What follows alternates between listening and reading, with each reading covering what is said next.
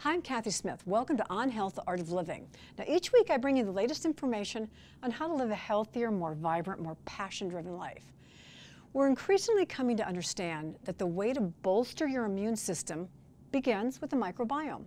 So surprisingly, the microbiome in your gut is home to 70% of our immune system. The human gut is complex and it has a huge impact on the whole body. A healthy gut supports strong immune system, brain health, heart health, as well as it can help create easier weight loss and weight management and have a positive impact on your moods and quality of sleep. So to help better understand the importance of gut health, I've invited Dr. Will Bulsiewicz, lovingly known as Dr. B. He's a respected gastroenterologist who has devoted his practice to understanding the microbiome. Dr. B's New York Times bestselling book, Fiber Fueled, and here's the tagline, the plant-based gut health program for losing weight, restoring your health, and optimizing your microbiome is a must read. And here's why. It's a step-by-step approach. It's science-based and it helps you optimize your gut microbiome.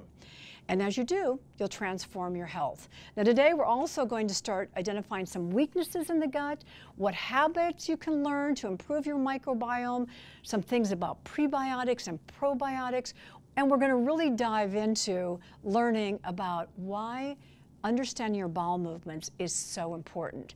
You see, we spend a lot of time talking about what goes in your body, but we don't spend a whole lot of time talking about what comes out the other side. So get ready for some honest, straightforward discussion. It could just be one of the most powerful conversations that will empower you to change your health for the better. Buckle up, here we go. Hi, Dr. B, how are you? Hey, Kathy. It's a pleasure to be here. How are you doing? Yeah, I'm doing great. So uh, it's been fun hanging out with you. For the audience, I've been taking a, a course with uh, Will called the Plant-Fed Gut.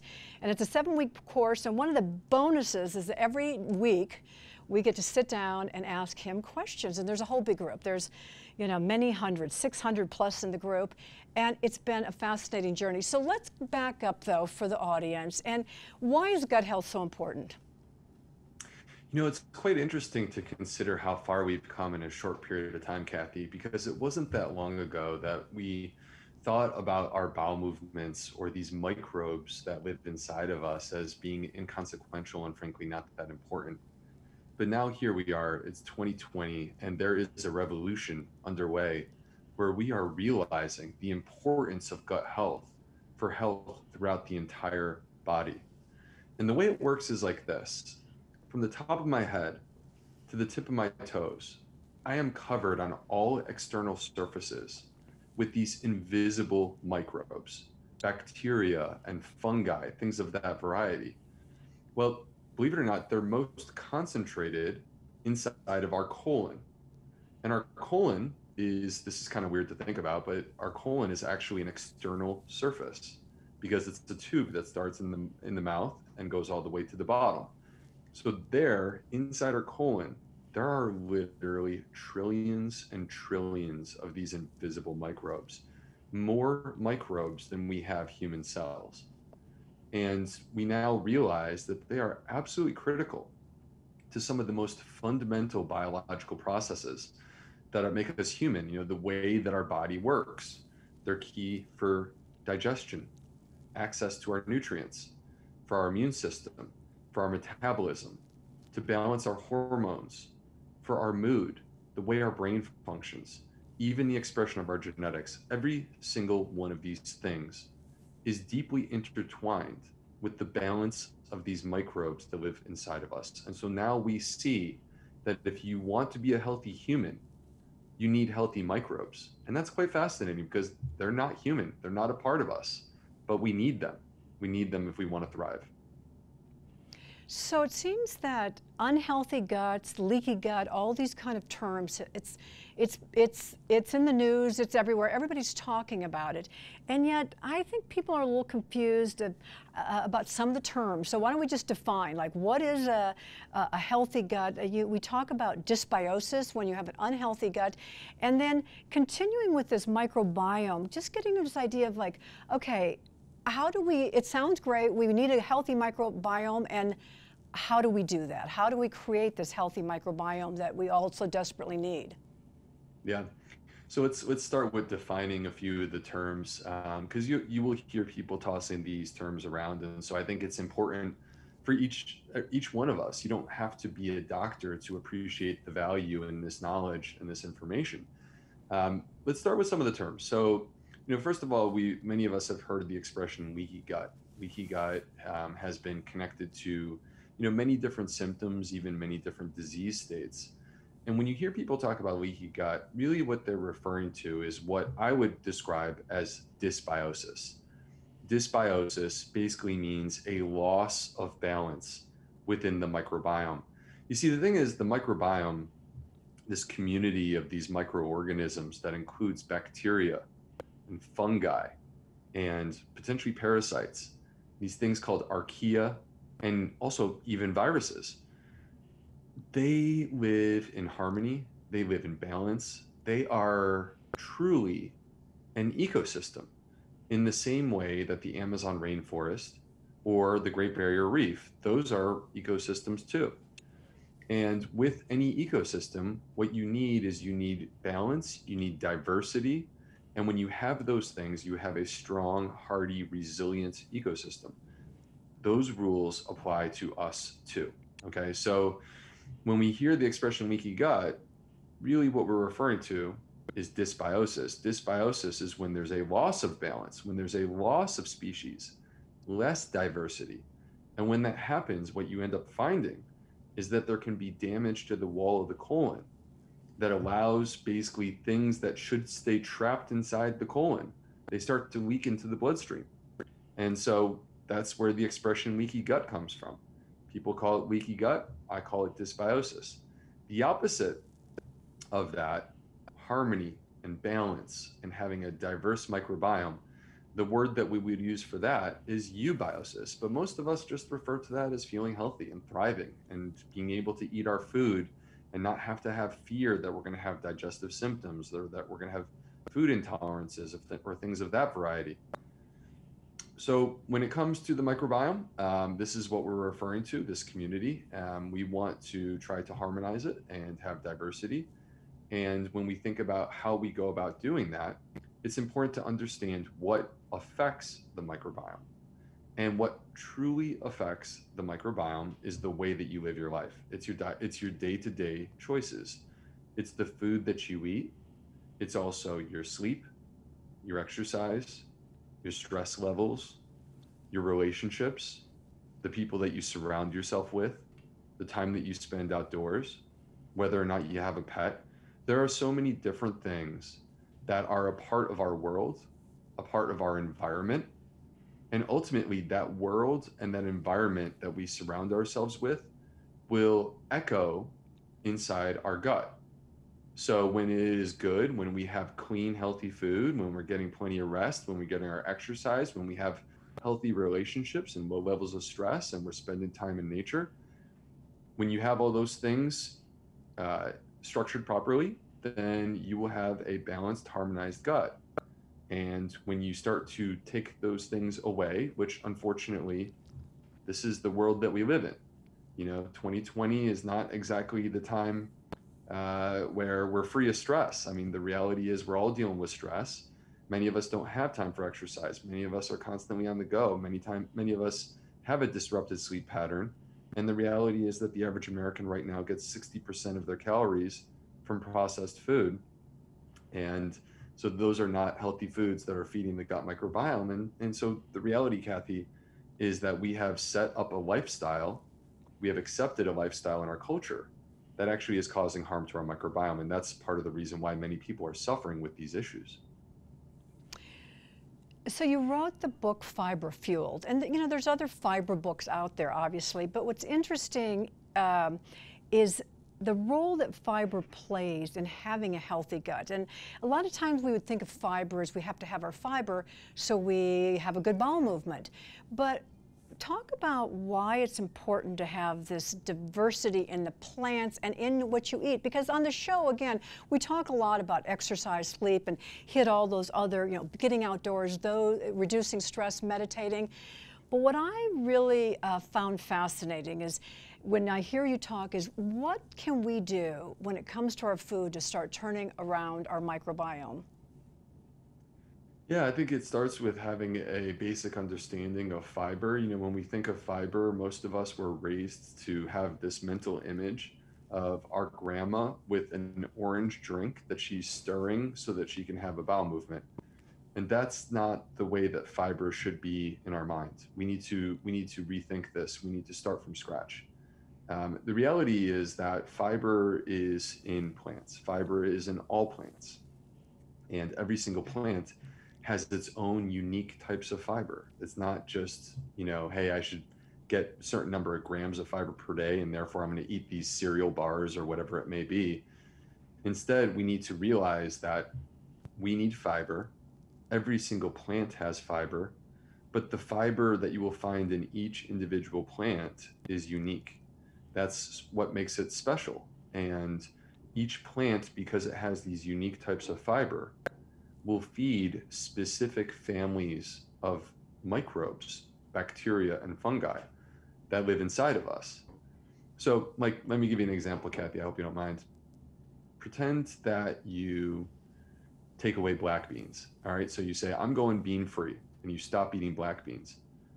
There are specific populations of bacteria that will start to starve because you're no longer feeding them the fiber that you will find in black beans. So you decide one day that you want to reintroduce those black beans and bring them back. As you go through the process of reintroducing those beans, you will find that these microbes, if you were to check them, they're starting to come back and they're strengthening and they're getting bigger and more powerful because you're giving them the food that they're starving for.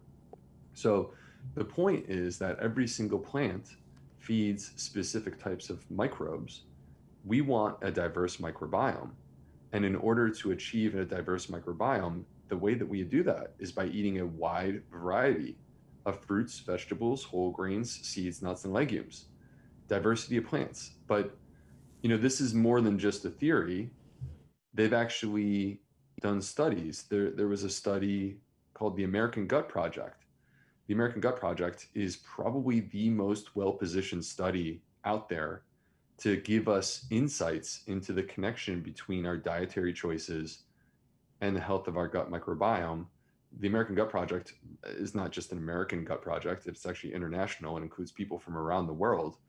And what they did with when they um, performed their analysis, they asked the question what is the number one thing? What is the number one thing that tells us that a person is going to have a healthy gut microbiome. And when they performed their analysis, what they found clear cut above all the rest, it was the diversity of plants in their diet that was the most powerful predictor of a healthy gut microbiome. So the bottom line is this I don't I don't care who you are and what your dietary preference may be. You could be paleo, vegan, keto, you could be agnostic, whoever you are. One of the foundational principles of your healthy dietary pattern should be to ramp up the variety, the diversity of plants within your diet. Because when you do that, you will be supporting a healthier gut microbiome. And then your healthy gut microbiome will turn around and reward you in spades and make you a healthier human. When you say plants, um, a lot of times we think of vegetables, fruits and vegetables. And I've even had to shift into fruits, vegetables, legumes, grains, all of the, you know, the whole plant kingdom, plant world. And um, th that's one point because one of the things I, I'm doing with a girlfriend right now is we are having a little, how many plants can you eat in a week? Different plants. And because uh, we read somewhere that you should shoot for 35. I don't know if there's a number that you have, but it's interesting when you start thinking that every spice from turmeric to, you know, uh, salt, your peppers, your uh, all of your spices and your herbs all count as plants. And when you start counting those in, and then your sprouts and all the other, you know, the things you're putting in your salads, it's pretty easy, honestly, to get to that 35 in a week. But I've read studies that for the average American, it's probably pretty low. Do you know? Have you read many studies about what what do most people? What's an average American diet like, and what should we be shooting for? Yeah, I mean, most most Americans are, you know, um, taking iceberg lettuce and a tomato, cutting it four ways, and then piling on blue cheese, bacon bits, and croutons, and calling that a salad. And so, you know, the average American is typically like 15 or 20 different plants per week. And um, th- there's no, you know, the key, Kathy, is that it's good to have goals of where we want to go with this. Um, and we should set expectations that are reasonable that a person can actually do. But at the same time, there is no limit and there is no magic threshold that's going to be a total game changer. And what I mean by that is this when they did the American Gut Project, in that study, the magic number was 30 different plants. So a person who ate at least 30 different plants in a week was the person who had the healthiest gut microbiome. But that's not to say that there's a difference between 30 and 29. You know, it's not that there's this magic cutoff. Really, what it is, is it needs to be enough. There needs to be enough diversity so that we're feeding as many of these different microbes as possible. And more is better. If you're getting 35, I celebrate that. Let's shoot for 40. Let's see how far we can take this and let's keep going with it. And so at the end of the day, really what we want is, you know, uh, there there is sort of these numbers, these goals of 30, 35, 40, somewhere in that range. But don't don't get to that number and stop and and just kind of, oh, I did it. Okay, good, I'm done. No, no, no. Like to me, every single meal, every single meal is an opportunity to feed these microbes.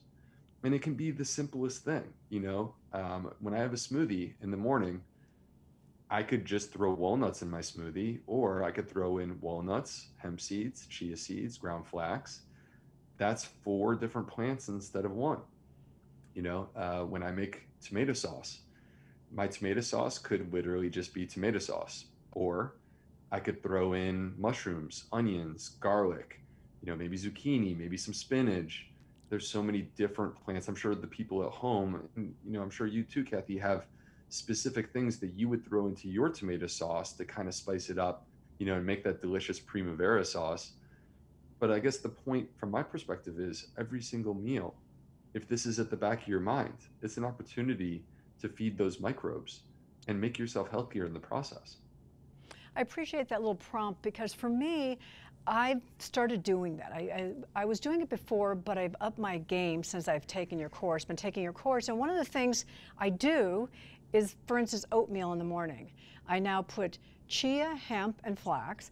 I also sprinkle on some um, pumpkin and sesame seeds, and then I make an, a, a milk. Uh, I, I, make an almond milk, fresh in my NutriBullet, that I pour on. And then I'm also sometimes even going with a few sprouts on top. But what I found is in that one meal, not only am I feeling satisfied, I'm feeling, uh, I, before my workouts, I feel energized. I'm going for two hour bike rides and it's sustaining me. At the same time, uh, my brain is working. So what I find is, and I want to get into this later, a little bit about time restricted eating and how it affects the gut. But right now, let, let, us switch over into um, a subject that I, uh, I get a kick out of that you discuss so openly. And that's like, what can we learn from what comes out the backside, you know, bowel movement? What can we learn from that that will tell us where we stand in, in, with our gut health. And, and if you wouldn't mind, I mean, if you could give us a top line, but then I'd, I'd like to ask you like kind of very specific, specifics for our audience. So what can we learn from our bowel movements? Yeah, well, you know, let me let me uh, first uh, lay out a disclaimer, which is that I talk about poop for a living. This is literally what I do from 8 a.m. until 5 p.m. And then I go home and I play with my four year old son. And guess what a four year old boy wants to talk about? He wants to talk about poop. So, and then, and then many times I'll be teaching the class after that, and we're talking about poop again. So, the bottom line is I am immersed in this world where this is what I talk about.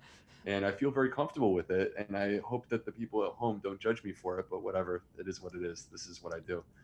Um, you know, I think it's interesting. And, and in all seriousness, you know, we, I understand that we're not necessarily going to have open conversations with uh, people that we barely know about what our bowel movements are like.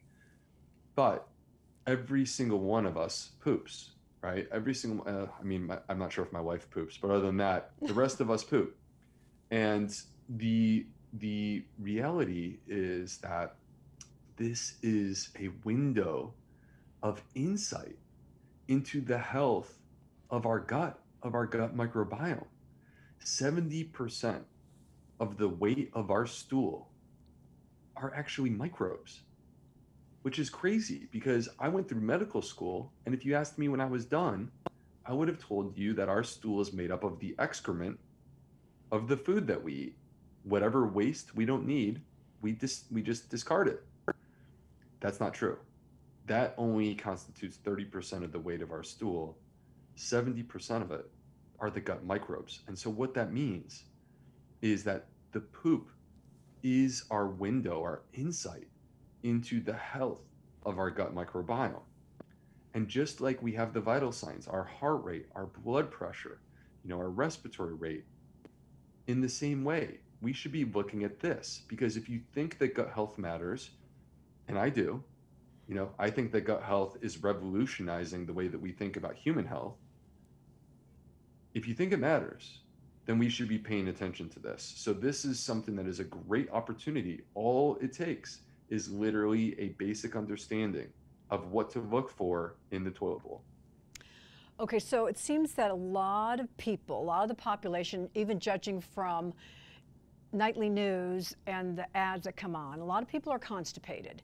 So let's talk about constipation and maybe get into what, how many times a day or a week should somebody, somebody take a poop and what constitutes constipation?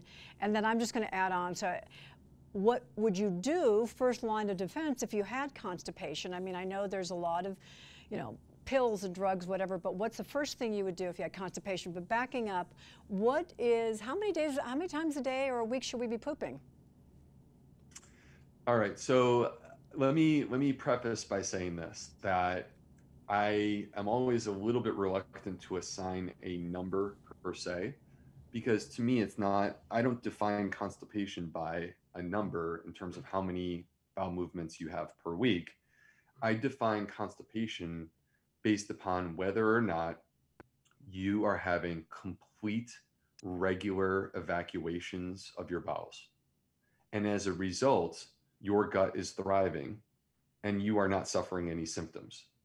All right. So to me, constipation is the opposite of that. Constipation is the inadequate release, the inadequate evacuation of our bowels.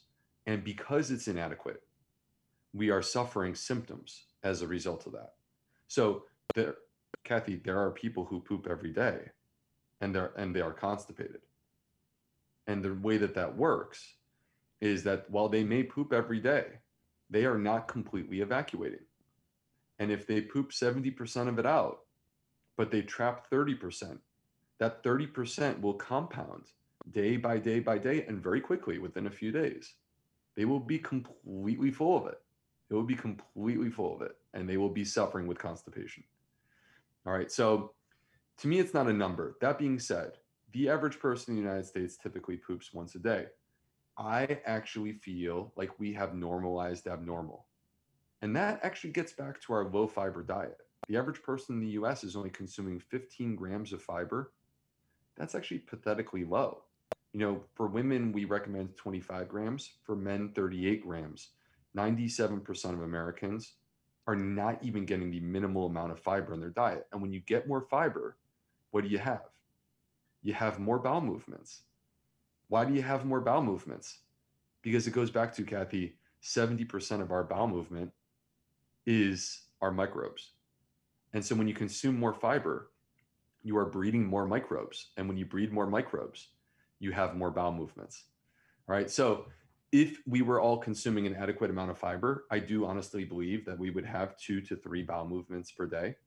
Um, but that being said, um, you know, you could have a bowel movement every other day. And if it is a complete, total evacuation and you feel well, you are thriving, you have no digestive symptoms, then you are not constipated, even though you go every other day. And on the flip side, the person who goes every day and has symptoms, gas, bloating, abdominal discomfort, uh, fatigue, nausea, uh, acid reflux, they get full very quickly. They're, you know, they lose their appetite. Those are the symptoms of constipation. that person's constipated even though they're pooping every day because they're not completely emptying. So when it comes to treatment of constipation, I think that, you know, probably the most important thing that I could get across to your audience when it comes to treatment of constipation is to be wary of the treatments that are available over the counter for constipation. Particularly, I hate to say this because I'm a big believer in natural therapies, but particularly the natural therapies, because those are stimulant laxatives. So, what I'm talking about is Senna, Senokot, Smooth Move Tea, Aloe Vera, Cascara, Triphala. All of these things are actually stimulant laxatives. And what stimulant laxatives do is your body becomes habituated to them. You then need them in the future to have a bowel movement. You become addicted in a way. And the problem is, if you withdraw this laxative after taking it chronically, you will be more constipated than you've ever been in your entire life. So I would really encourage people to not use these types of laxatives routinely. What do I do in my clinic? To me, it is about rhythm. It is about getting my patients into a good bowel rhythm. So many times I'm able to accomplish that by using a combination of magnesium, which I will t- typically have my, my patients take before bedtime, uh, because magnesium is also good for sleep. It's good for anxiety. It's good for migraine headaches. Um, it is not a stimulant laxative. It is not addictive. So I have them take magnesium before bedtime. And then I will typically also add in a fiber supplement in the morning, many times with their morning coffee. So that's the typical approach that I'll take. Do you have any brand of the fiber supplement that you're recommending? Um, so I'm not. I don't. I don't love. You know. Uh, endorsing specific brands, but I will tell you that I, I have multiple fiber supplements that I use at home. Some of the ones that I use include acacia powder, um, wheat dextrin, uh, partially hydrolyzed guar gum. I tend to avoid, and this will surprise some people, I tend to avoid inulin. Inulin is extremely gas producing. And so I want people who are at home to be conscious when you are looking at fiber supplements particularly if you pick up the gummies. Many people want to get the gummies. Like we all love the gummies, they're fun, right? But the issue is that the gummies usually contain inulin. And if you have a gas problem from your constipation, it's going to get worse. And so you need to be very careful with that. So if you're eating, which I know you are, uh, a plant-based diet and all these this variety of plants, why are you taking a fiber supplement in the morning? You know, it's very interesting that you ask because I eat a 100% whole food plant based diet. I practice what I preach. Um, you know, living this way, Kathy, I lost 50 pounds, reversed the blood pressure and anxiety issue, lifted my self esteem and my energy levels. Um, you know, the, the plant based diet has done remarkable things for me and allowed me to thrive. That being said, when I take a fiber supplement, I notice the difference in my bowel movements. And it is a good difference. I find them to be even more healthy, even more regular. And so as a result, um, I am a believer. That's part of the reason why I'm a believer in fiber supplements. The other part of this is that these types of fiber that we're talking about, acacia powder, wheat dextrin, partially hydrolyzed guar gum, they have a unique property that we call prebiotic.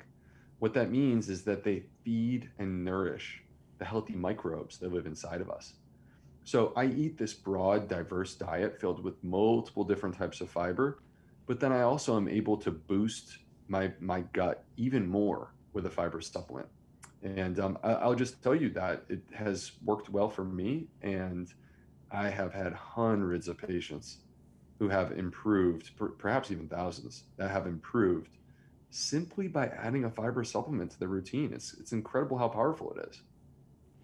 So let's talk about the physical act of sitting down the toilet and going to the bathroom because this is uh, something that I learned from your course uh, that a lot of people are having trouble with just the pelvic, not uh, with the floor, the, the, the pelvic floor, I guess, and the sling down there and letting things just release out. What I found interesting was when you were answering the question about whether you should use a potty squatty, but with that, what happens to the walls um, of, I guess, the rectum, and how does the whole process work? If you, because that was the first time I heard that, and I, uh, if you could explain that and why it's important to be able to release down there. Uh, I don't think a lot of people have heard of this this this subject about this subject. Yeah.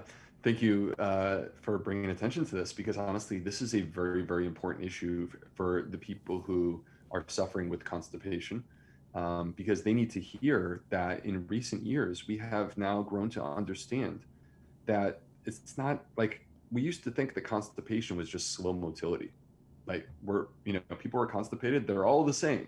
They all have slow motility. It's not true. It's simply not true. There are many potential forms of constipation. And one of the most common that I come across is what we call pelvic dyssynergia. Okay. And to use an analogy, I would say this imagine a bathtub, okay, filled with water. All right. And we want to drain that bathtub, but the drain is closed. We all know that if you want to drain the bathtub, there's only one way to really drain it, which is you have to open the drain. And you could mess around pouring Drano into this water and it's not going to do anything until you open the darn drain. And that's true in constipation too. You have to be able to relax your pelvic floor. You have to be able to allow the poop to leave your body. And if you can't do that, you could take all of the laxatives, all of the Miralax, all of the stool softeners in the world. You could do that all. You could turn your poop into liquid. But if you can't relax the bottom, it can't come out. And so we have discovered that there's this form of constipation called pelvic dyssynergia, which basically means that when the pelvic floor is supposed to relax and give way so that things can come out, it paradoxically is doing the opposite. It's actually clamping down. And we can find it in uh, some of the testing that we do. And the treatment for this, this loss of synchrony in the pelvic floor, the treatment is not laxatives. The treatment is not medication. These are the people who fail laxatives and fail medication. The treatment is physical therapy. You know, it's kind of like this if I hurt my shoulder, right, I can take medications to dull the pain, but those medications are not going to bring back the functionality of my shoulder. If I want to restore functionality to my shoulder, I find myself a good physical therapist and they work with me so that I can start to lift my arm above my head. And then eventually I can grab two pounds and I can take those two pounds and I can lift that above my head. And I work my way towards five and then 10 and then 15. You have to ease your body into it. You have to restore that functionality. And that's also true with our pelvic floor. If it's not working the way that it's supposed to, and by the way, this is far more common in women. It tends to be most common among women past age 50 but we believe that it actually comes back to the birthing process and delivering children. Nonetheless, if you want to restore that functionality to the pelvic floor, the way that you do it is by working with a good pelvic therapist to reorient the muscles so that you can get them to relax when they're supposed to relax. And then bowel movements come back to being effortless once again. So, uh, with regard to the squatty potty, Kathy, uh, you mentioned that. I would just say that, you know, our body was designed for us to be in a squatted position when we poop. Cavemen were not sitting on the commode the way that we currently do, certainly not at the angle that we do. Cavemen were squatting down so that they could release their bowel movement. And there's actually a physiologic reason for that. There is a muscle down in the pelvis, down at the bottom, called the puborectalis that is like a sling muscle. That sling muscle is basically folding over the rectum so that things don't come out when you're normally going about your day. It's protecting you. It's protecting you from having an accident. But when you when you actually squat, that sling muscle will actually create alignment of your rectum to create a straight line so that there is no resistance along the path towards releasing that bowel movement. So the squatty potty is a simple concept with fantastic branding which is that simply by lifting your feet and getting your body into more of a squatted position as opposed to a seated position. You are able to bring that puborectalis muscle into alignment, and you will actually find it easier to defecate. It's so simple.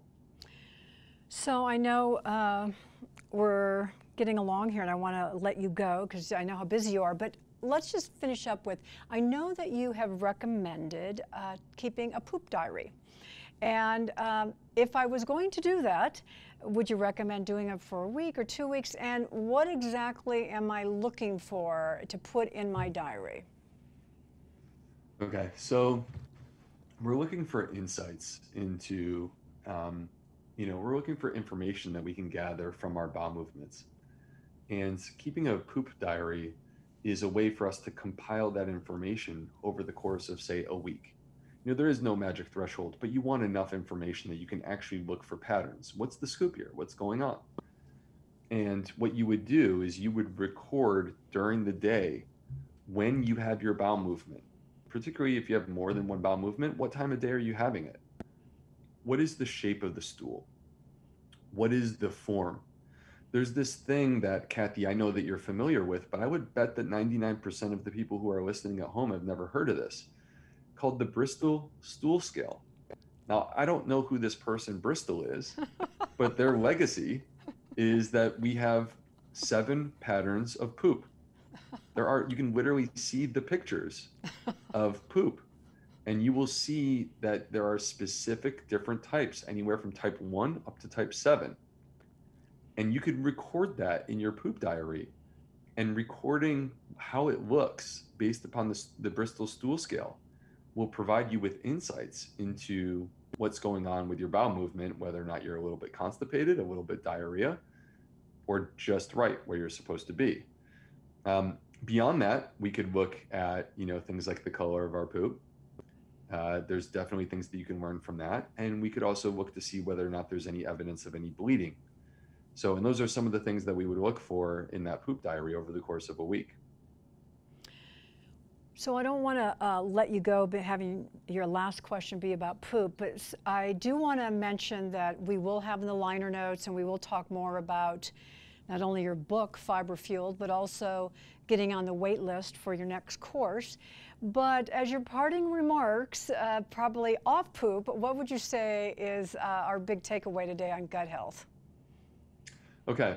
Well, the, the beauty of it is this, Kathy you have a fitness savvy audience.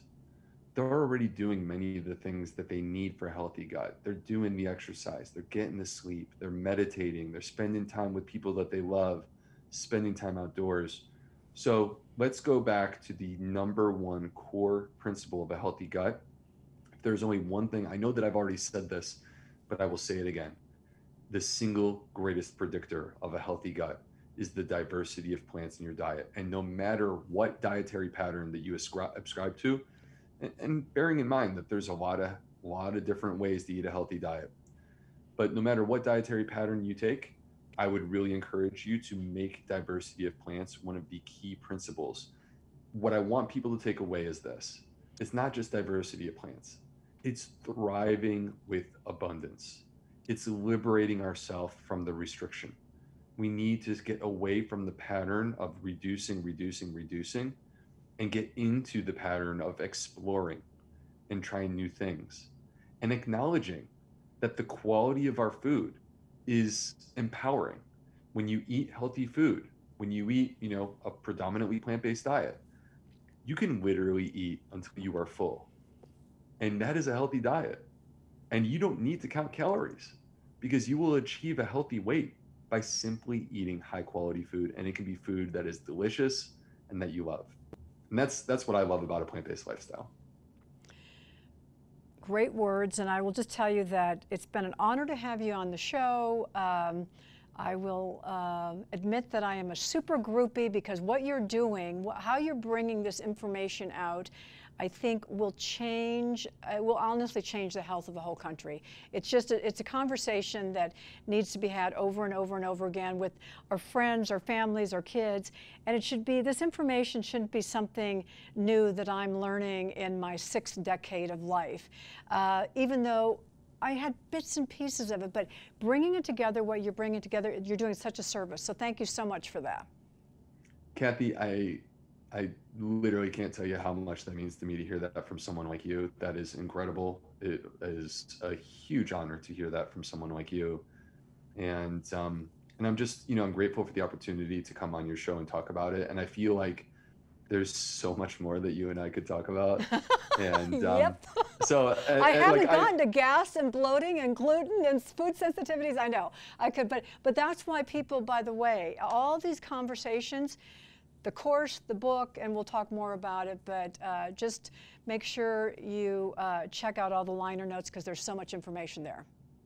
So thank and you. You Will. just tell me, Kathy, when you want to get together and do another recording. I'm more than happy to come back and do another one with you. It's such a it's such a privilege. Thank you. Okay. Thanks, Will. Bye, Dr. B. Thank you. Thank you. So my big takeaway is that making peace with your microbiome is one of the biggest steps you can take to improve health and well-being. When you take care of your gut, just about everything else in your body, from your immune system to your moods, your brain, your heart health, all of it, all of it's impacted. It was such a pleasure having Dr. B on the show. I love him. I've really enjoyed taking a seven-week course, the plant-fed gut, and it's really been it's really been a big life changer for me. The course has been powerful. We're working on identifying weaknesses in our gut as well as learning which foods help create a vibrant and healthy microbiome.